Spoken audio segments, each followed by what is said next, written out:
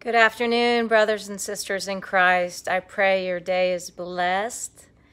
Happy Valentine's Day. Um, I just wanted to share with you something that the Lord put upon my heart. And um, maybe you're going through something right now. Maybe you're struggling. Maybe you don't have the love of your life.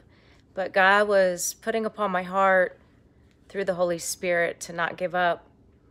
See, in 1 John 4 19, it says that we love because God loved us first. He created us and formed us in His image, and He wanted me to encourage you not to give up. That sometimes storms come in life, not to harm us, but to clear the path for His blessings. And I wanted to just encourage you today to not give up and to trust Jesus and um, just live in expectancy of God's goodness. I hope your day is blessed. Amen.